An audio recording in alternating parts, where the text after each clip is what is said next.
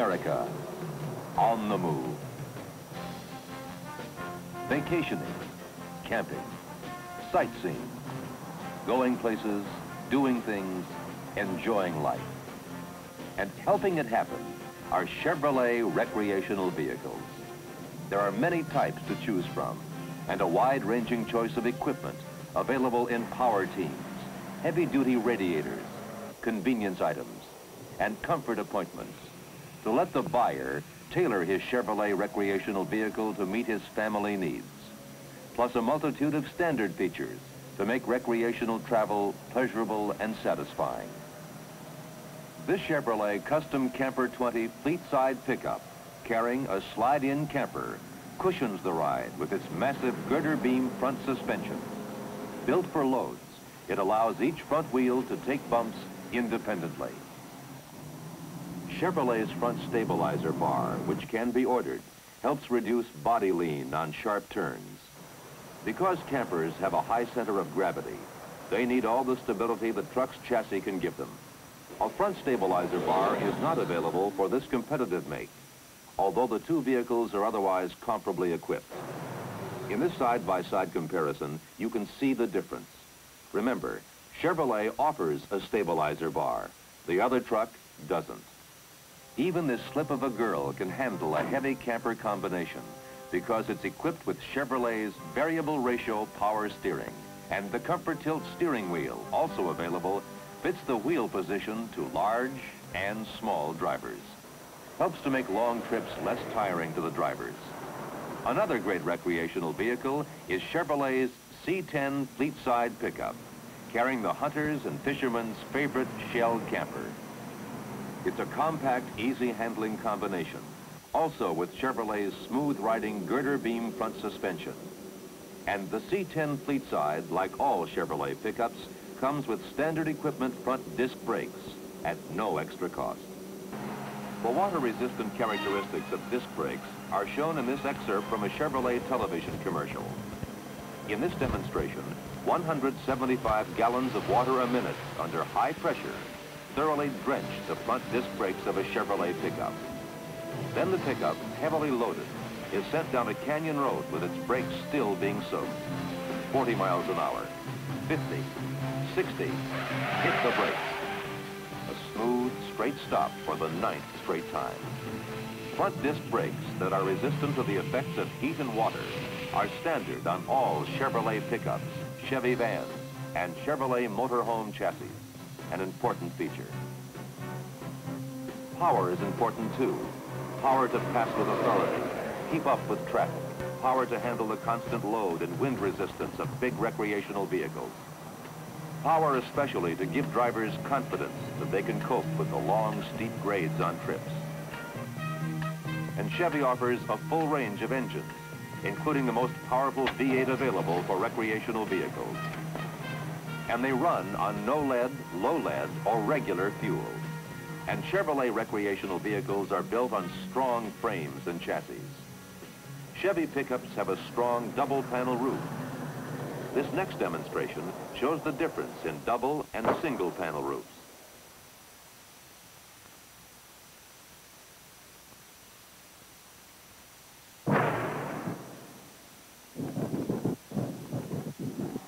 Chevrolet's protective inner fender liners help protect outer ones from rust, corrosion, and flying rocks. Chevrolet's double wall pickup box construction provides sturdy support for camper bodies. Solid value from rooftop to undercarriage explains why Chevrolet trucks are totally tough, built strong to last long. Percentages of trucks still working show that over 55% of 1956 model Chevrolet trucks are still on the job, based on R.L. Polk official industry statistics. No other make has even half and percentages for later years prove that Chevrolet trucks last long. Here's Chevrolet's El Camino, towing a travel trailer. El Camino is a handsome unit for personal transportation with a selection of rich interiors and a choice of seats, including strato bucket seats and a center control console. As part of a trailering outfit, El Camino can be adapted to an easy-to-handle combination with great maneuverability. Half car, half truck, it couples beauty with toughness. Adjustable air booster rear shock absorbers are standard. And El Camino can be equipped with a fifth wheel hitching device for trailering. And there's a wide choice of great Chevrolet engines to deliver the level of performance preferred by the owner for trailering or personal transportation or both. And here's another great favorite, the Chevy van with raised roof camper conversion with full headroom inside. Chevy van's sliding side door gives full access to the interior where there's ample room for cooking, dining, sleeping, and sanitary facilities. For excellent performance, Chevy Van's girder beam front suspension with basically the same tough components shown here on a Chevy pickup and Chevrolet's extra cost stabilizer bar deliver good handling and a comfortable road smoothing ride. Factory installed air conditioning, comfort tilt steering wheel, automatic transmission, power steering, all sorts of comfort and performance options are available for Chevy van conversions. A larger unit is the mini motorhome conversion, also built on a Chevy van chassis, but with a specially designed camper body. Now the ultimate in travel luxury, completely self-contained, the motorhome. This is but one of many makes, built on a chassis especially engineered for motorhomes by Chevrolet. Inside, there's everything. Private bedroom, bath with tub and shower, completely equipped cooking facilities, dinette, the work of many manufacturers to give outstanding comfort, convenience, and operating performance. Power steering with the Comfort Tilt steering wheel is standard. A big 350 cubic inch V8 is standard. Turbo Hydromatic, Chevrolet's biggest automatic, is standard. Front disc brakes with dual diaphragm power brake boosters are standard. Chevrolet's smooth riding independent front suspension, tailored rear suspension, and low noise levels make riding in a motorhome like riding on a carpet. There are many different makes of motorhomes based on tough, dependable Chevrolet truck chassis. The choice is almost endless. These are some of the makes and manufacturers.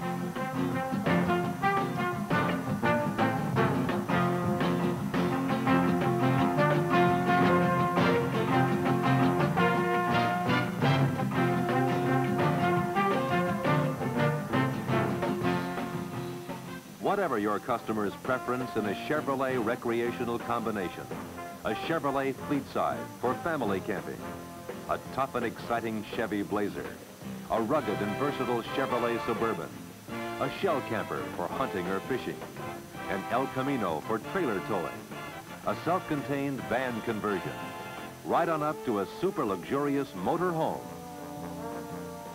Chevrolet trucks for dependable operation, carefree fun, and lasting value of investment. Chevrolet trucks, totally tough to last long. These are a few of the many Chevrolet recreational vehicles available. No matter which one your customer selects, it's important that it be properly equipped. Show him the Chevrolet Recreational Vehicle Guide and the Trailer Towing Guide, and help him properly select and equip his unit to make his camper trips comfortable and enjoyable.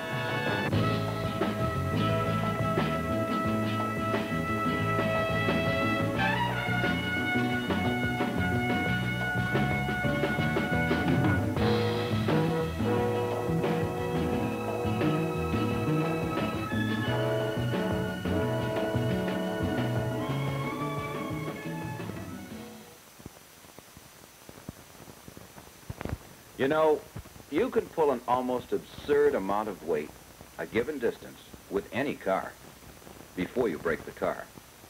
But equipping you for that kind of trailering is not our business. Our business is equipping you with a vehicle that will handle your requirements for weight and terrain.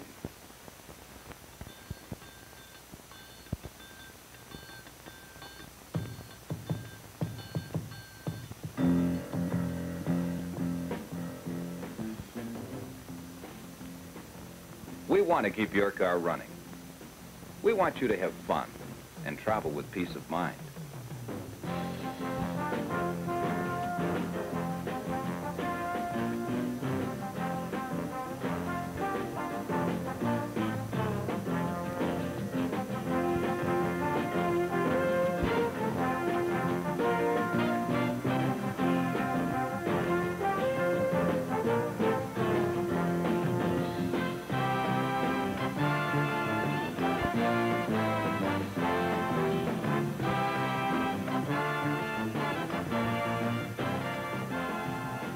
Fun.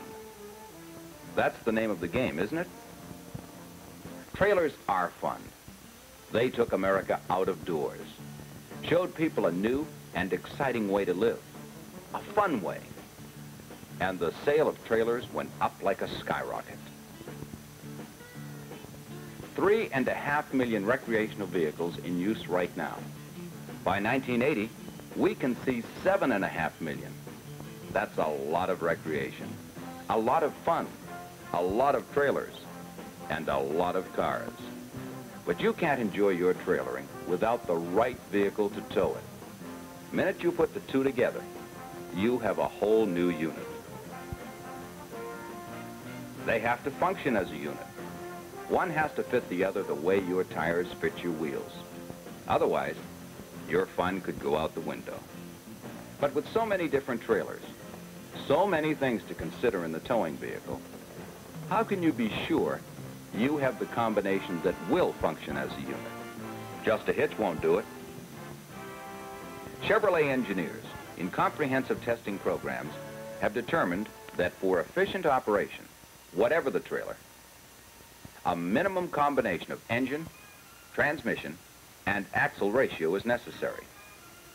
A combination that will help enable you to maintain speeds up to 72 miles an hour at sea level, no headwind, on level interstate highways. That's Chevrolet's minimum criterion. Well, the first thing we did was buy ourselves a trailer. Then, since we were in the market for a new car, we went to our Chevrolet dealer to buy the, the right car.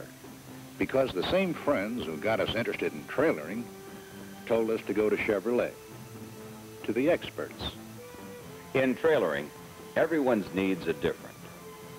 How big a trailer did these folks have? What was its top loaded weight? What's its maximum tongue load? Does it have brakes? And how did they intend to use it? It turned out they had just bought a 29-foot model, 6,000 pounds loaded. They planned one or two long trips each year. On reaching each destination, they had parked the trailer and used the car separately.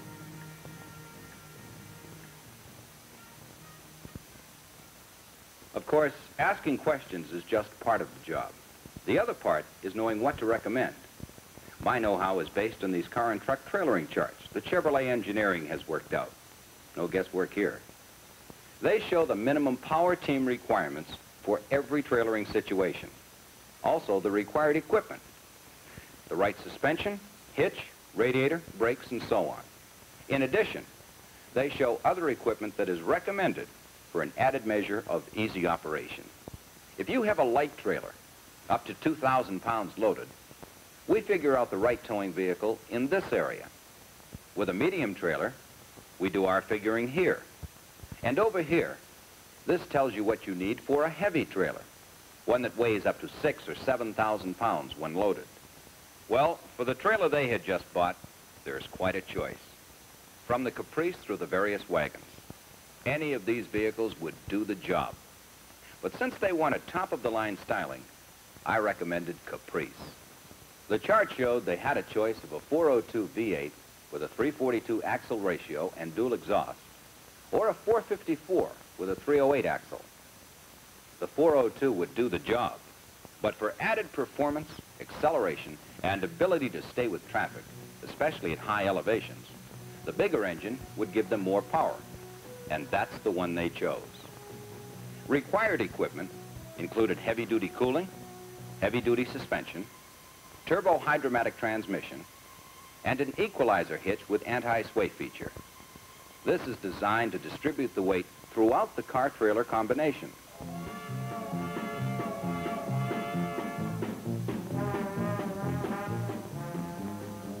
Chevrolet's Equalizer hitch platform is easy to install. Like most other Chevrolets, Caprice comes with the attachment holes pre-punched in its frame.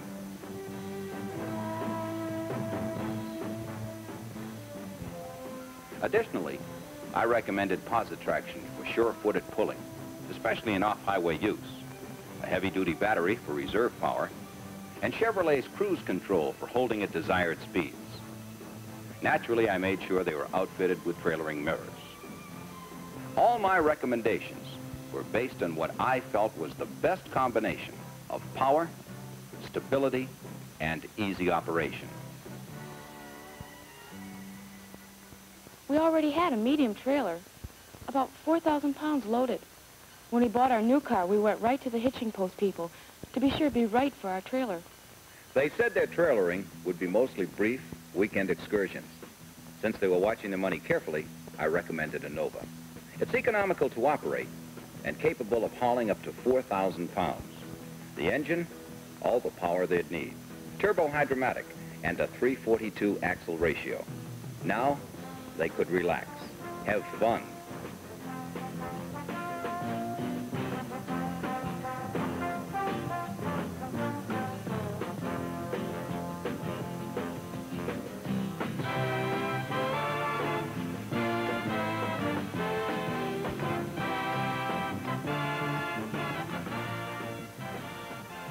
The other day, I had another couple, retired. Their trailer, a 31-footer, 6,000 pounds loaded. They intended to do a lot of traveling over the next year or so. Long trips with stopovers in a lot of different places. Well, this pair also had quite a choice. But was a car necessarily the answer to their needs? Long trips, off-road driving, long distances between supply sources. They'd need room for extra supplies, extra storage space. Now, these people hadn't even thought of buying a truck. But the vehicle I recommended is really a great combination of truck and car. In addition to its car features, it has the extra space and built-in ruggedness I felt they needed. A Suburban C20 with a 350 V8 and a 457 axle, or a 400 and a 354 axle ratio available. They chose the latter for smoother non-trailering use. Again, turbo hydromatic along with the other equipment they required. Since the wife was going to do a lot of the driving, I recommended power steering for easy handling. They now had a tow vehicle that was right for their trailer and for their kind of trailering.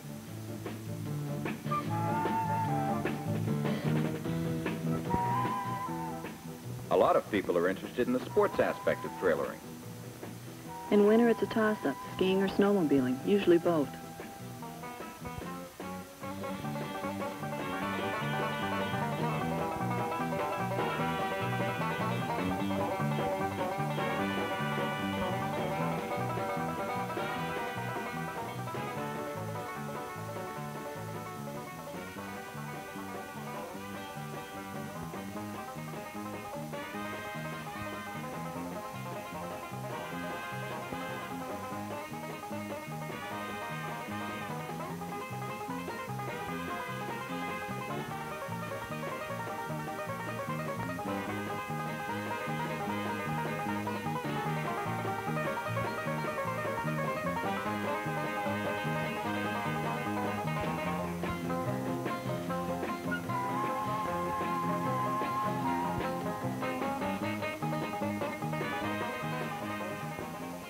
We like to hit the trails with our bikes, out-of-the-way places, and we believe that getting there is half the fun.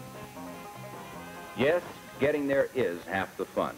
And for both these couples, I recommended a Blazer with four-wheel drive. Tough and capable of handling anything from light to heavy.